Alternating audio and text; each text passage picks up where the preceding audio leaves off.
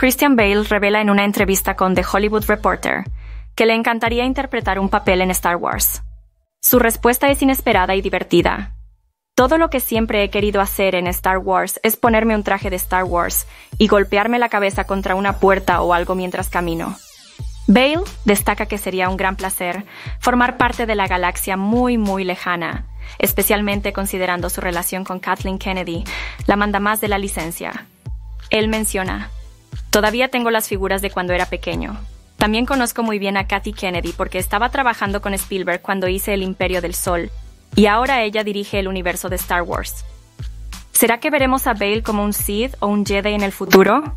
Solo el tiempo lo dirá,